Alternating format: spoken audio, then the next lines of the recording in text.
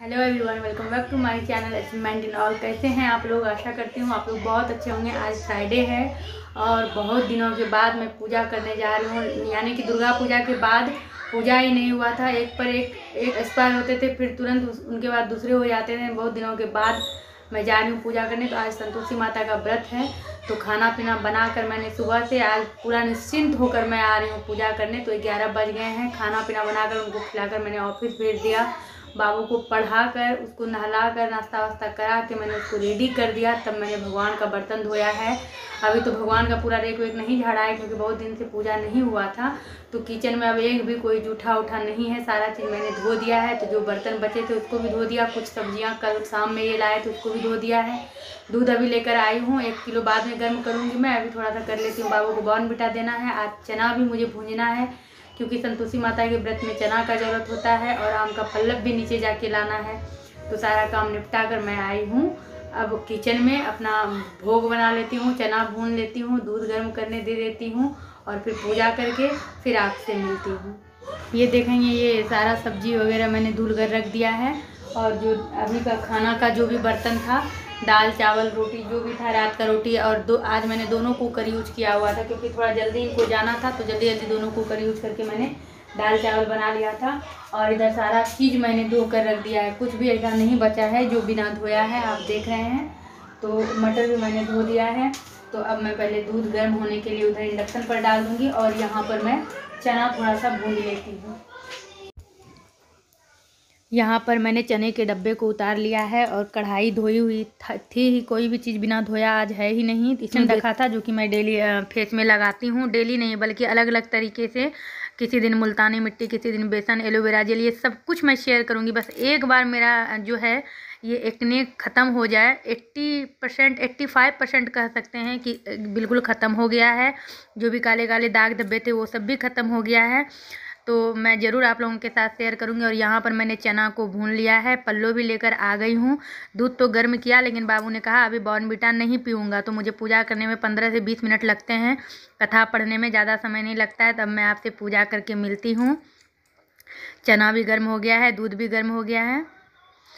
अब यहाँ पर मैं पूजा मेरा हो गया है कंप्लीट। मैंने फिर से कढ़ाई को चढ़ा दिया है और दूध फिर से गर्म करूँगी क्योंकि बाबू को अब बॉर्न बिटा दूँगी और लगभग अभी ग्यारह बीस ग्यारह पच्चीस हो रहे हैं तो चूँकि दाल रोटी खिलाती हूँ तो दो तीन घंटा तो दो ढाई घंटे तो लग ही जाते हैं डाइजेस्ट होने में फिर बॉर्न बिटा देती हूँ। ये जो आप देख रहे हैं पहले तो मैं ये बता दूँ कि ड्राम से मैं सारा ड्राई फ्रूट्स उस दिन मैंने नहीं निकाला था एक एक करके सारे डब्बे को धोती हूँ और धो रही हूँ धोकर रख दिया है आपने देखा ही सारा काम कंप्लीट अम, कर ही लिया है। बस जो ये बर्तन रखने वाले पर जो मधु का डब्बा में जितना भी मैंने वो रखा हुआ है छोटा छोटा मसाला जैसे अजवाइन, मंगरेला, ये सब मैंने साफ़ नहीं किया है। तो वो भी आज फ्राइडे है, आज तो मैंने नहा लिया, मैं देखूँगी, अगर कल करूँगी तो कल करूँगी, ज़रूर आप लोगों के साथ शेयर करूँगी। तो यहाँ पर मैं सारे ड्राई फ्रूट्स को और बादाम को मैंने निकाल लिया है और बादाम और काजू मैं फ्राई करूँगी। अभी मखाना आज मैं फ्राई नहीं करूँगी। तो यहाँ पर पहले मैं क्या करती हूँ, कढ़ाई में बादाम और काजू दोनों बहुत अच्छे से फ्राई कर देती जिसको कहते हैं पूरा फट जब फूट जाता है बिना घी का, तब लास्ट में घी देती हूँ। अगर आप पहले घी डाल देंगे तो फिर वो जलने लगेगा, अंदर से पूरी तरह नहीं पकेगा। और आप जो यहाँ देख रहे हैं, ये अगर वो टमाटर कटा हुआ हो या नींबू कटा हुआ हो जैसे कि हरी सब्ज़ी है, हरी मिर्च है, ये सब रखने के बाद पता नहीं आजकल कौन सा कीड़ा आ रहा है। छोटा छोटा कीड़ा एकदम चारों तरफ़ उड़ते रहता है। क्या आप लोगों के साथ भी ऐसा होता है? आप लोगों के किचन में भी इस तरह होता है? पता नहीं, समझ में कुछ नहीं आता है, जबकि इतना साफ़ रखती हूँ तो आप लोग देख ही रहे हैं, रोज़ शेयर करती हूँ। और यहाँ पर बाबू गेम देख रहा था, अब गेम देखते देखते थोड़ा सा किचन आया तो मैं थोड़ा ज़्यादा इसको फ्राई कर लेती हूँ, रोस्ट कर लेती हूँ, ड्राई फ्रूट्स को और बाकी रख लेती हूँ। अगर बाबू मांगे दोबारा खाने की इच्छा हो तो यहाँ पर मैंने थोड़ा सा काजू काजू थोड़ा सा बादाम।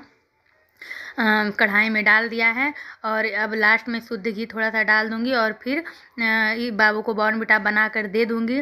तब तक मेरा ये सारा चीज़ फ्राई हो जाएगा और आलू का भुंजिया मैं ज़रूर बनाती हूँ। उससे क्या होता है, आलू का भुंजिया वगैरह थोड़ा खा लेने से बहुत देर तक आपको राहत मिल जाती है व्रत में या फिर साबूदाना या फिर मखाना भूंज कर तो साबूदाना वगैरह मैं बाद में बनाऊँगी तो ये आलू जब मैं सुबह खाना बना रही थी, उसी समय मैंने थोड़ा ज़्यादा बॉयल कर लिया था। तो आलू का भुंजिया अगर आप बनाते हैं तो बिल्कुल टेस्टी लगता है व्रत में खाने में आलू को बॉयल करके और उसको बॉयल करने के बाद फिर जिस तरह कच्चे आलू का भुंजिया आप बनाते हैं तो काटते हैं उसी तरह काट कर घी में जीरा और लाल मिर्च डालकर आप उसको फ्राई करिएगा। बिल्कुल क्रंची इतना टेस्टी लगेगा। और यहाँ पर मेरा बादाम और काजू लगभग हो गया है। अब मैंने थोड़ा सा और उसको आ, क्या उसको कहते हैं थोड़ा सा और आ, पकाने के लिए तेज़ कर दिया मैंने गैस और ये दोनों पक गए। अब मैं इसमें आलू डालूँगी। आलू का भुंजिया मैंने काट लिया है। तो ये लगभग बारह तो बज ही जाएँगे। अब मुझे नाश्ता करते करते नाश्ता कहिए या जो भी कहिए व्रत में, इतना लेट कभी नहीं होता है। बहुत सवेरे मैं कर लेती हूँ। अब तो मैं ये भुंजिया के लिए इसमें डाल रही हूँ और भुंजिया इसमें लगा दूँगी। अगर आपको पूरा क्रंची चाहिए तो आप ज़्यादा घी डालिए और थोड़ा सा सॉफ्ट चाहिए तो थोड़ा सा कम घी डालिए। मैंने थोड़ा सा कम ही डाला है लेकिन क्रंची बन जाता है इसमें ही मेरा। आलू तो पहले से ही पका रहता है तो सिर्फ़ इसको आ, उसको क्रंच क्रंची बनाना होता है। तो इसमें मैंने डाल दिया है और कुछ भी नहीं डालना होता है। और आप लोग ये ट्रिक ज़रूर आजमा कर देखिएगा, मैं तो यही करती हूँ, क्या करती हूँ, मैं कोई भी सब्ज़ी बनाऊँ, चाहे आलू, बैगन, बीन्स, टमाटर, गोभी, पालक, कुछ भी, मैं सब में आलू बॉयल करके देती हूँ। इससे क्या होता है, सब्ज़ी आपका इतना अच्छा बनता है, इतना उसका रस गाढ़ा होता है कि काफ़ी टेस्टी लगता है। मैं कोई भी सब्ज़ी और यहाँ पर देखेंगे मेरा ये आलू का भुजिया और ये पेड़ा है, गुड़ है, गुड़ तो बादाम के साथ अच्छा लगता है, ये काजू है और मूँगफली, ये सब कुछ और एक गिलास पानी ले लूँगी, भगवान जी के आगे मैं भोग रख दूँगी। उसके बाद मैं ये खा लूँगी और बाबू को मैंने बॉर्नविटा दे दिया है। गुड मॉर्निंग डियर अभी सुबह के साढ़े सात बज रहे हैं। आज इनको ऑफ़िस जाना नहीं है। आज है शनि, आज है शनिवार तो काम तो उतना ही होता है, लेकिन हड़बड़ी कम होती है। तो चाय वाय हो गया है तो समय मेरे पास था तो मैंने मुँह में बेसन और हल्दी और नींबू लगा लिया है। इन सब चीज़ों से ही मेरे एक्ने जो है पूरी तरह से रिकवर हो रहे हैं। तो अभी जो चाय वाय का बर्तन है चलिए उसको धो लेते हैं। कुछ अमरूद इन्होंने लाया था रात में, और कल जो मैंने सब्ज़ी धोया था, उसको रखा नहीं था, क्योंकि अभी अब ठंडा के मौसम में तुरंत फ्रिज में रखना ज़रूरी नहीं है तो चलिए कुछ बर्तन है, उसको धो लेते हैं।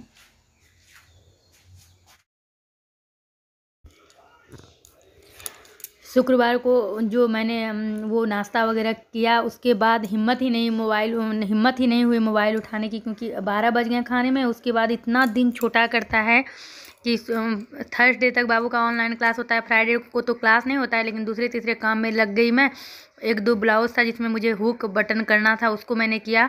एक दो कपड़े प्रेस किए और तीन बजे से आजकल क्या होता है, बैठ जाऊँ अगर सीरियल देखने तो फिर एक बार अगर बैठ गए तो उठने का मन नहीं करता है, बहुत समय छोटा करता है। उसके बाद मैंने हिम्मत ही नहीं किया मोबाइल उठाने का तो सीधा आपसे शनिवार की सुबह मिली।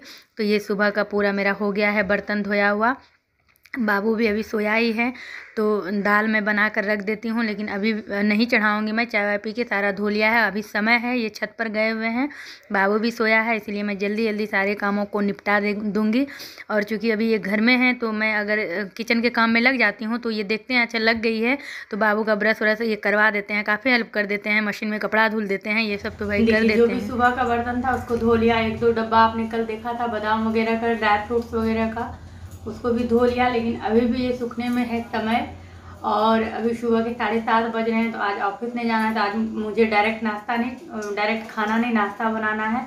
तो अभी उन्होंने कुछ ऐसा कहा नहीं है, क्या नाश्ता करना है, पराठा सब्ज़ी करेंगे या फिर पोहा करेंगे।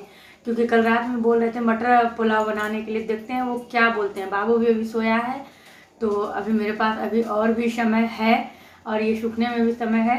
तो सारे कल मैंने सारा ऊपर साफ़ किया था ये बचा हुआ था इसको मैं अच्छे से पोछ लेती हूँ। रात में जो बर्तन धोया था, उसको रखना है तो बीच बीच में इसको भी साफ़ करना होता है।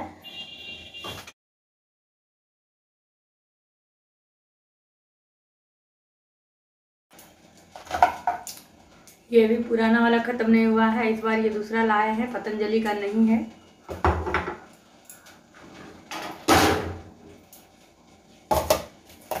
और इस डिज़ाइन का डब्बा बहुत प्यारा लगता है। एक ये है ये इसको, इसका रेपर मैंने हटाया था, दूसरा ये लाए तो एक जैसा दो हो गया और बड़ा वाला आपने देखा वो भी दो हो गया है। इस तरह के डिज़ाइन का डब्बा था, बहुत अच्छा लगता है, मैं तो बहुत संभाल संभाल कर रखती हूँ। यहाँ पर जैसे जैसे मधु ख़त्म होते जाता है, मैं डब्बा को धोकर ही रखती हूँ तो सारा मेरा साफ़ ही रहता है और इस तरह सूखे मसाले जो रखती हूँ मैं, उसमें ज़्यादा गंदा नहीं होता है तो यहाँ पर भी मैंने वही काम किया है। कटौत में पानी गर्म करके उसमें विनेगर और सर्फ डाल दिया है और इसी कपड़े से सबसे पहले मैं गर्म पानी से गर्म पानी से पानी से ही इस पूरे रेक को मैं पोछ लूँगी, बिल्कुल साफ़ कर लूँगी और मैं ये ये एक महीने में पैंतीस दिन में ज़रूर करती हूँ, जिससे कि मेरा बिल्कुल नया ऐसा दिखता है, जबकि बहुत पहले मैंने लिया है। पूरा जहाँ तक हाथ अंदर से जाता है बाहर से जाता है पूरा मैं इसको साफ़ करती हूँ और इस एक एक बर्तन उतार कर इस, इसके एक एक पाइप को साफ़ करती हूँ। भाई मेहनत तो मैं बहुत करती हूँ और ये सब आ, काम पता है मैं ऑफ़ के दिन इनके ऑफ़ के दिन करना नहीं चाहती हूँ क्योंकि इनको गुस्सा आता है इतना तुम क्यों काम करती हो अनावश्यक क्यों करती हो? उन, उन इन लोगों को लगता है अनावश्यक है लेकिन औरत समझती है कौन सा काम करना होता है कौन सा नहीं।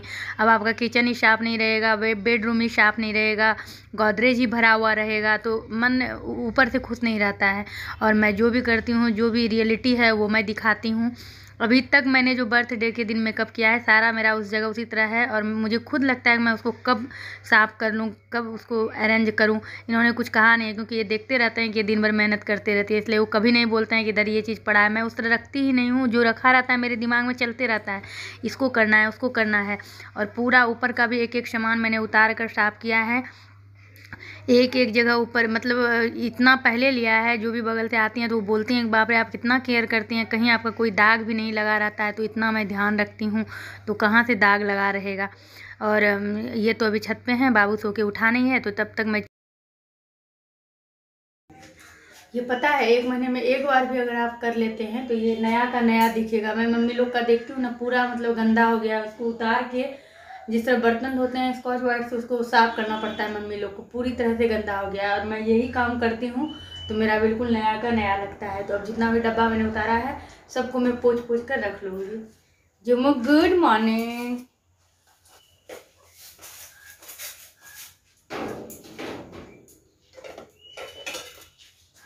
good morning यहाँ पर बाबू सोकर उठ गया है पूछ रहा है पापा कहाँ हैं? और ये तो छत पे गए हैं थोड़ा सा धूप में बैठने इनका भी ऑफ़ है तो उस दिन सोचते हैं कि थोड़ा मैं भी फ्री महसूस करूँ। जब ये उठ जाता है तो पीछा नहीं छोड़ता है कभी पार्क लेकर चलिए हमेशा उनके पीछे ही रहेगा। तो आ, अभी तो वो छत पर ही बैठे हैं। आइए तो आप गुड मॉर्निंग बोलिए सबको।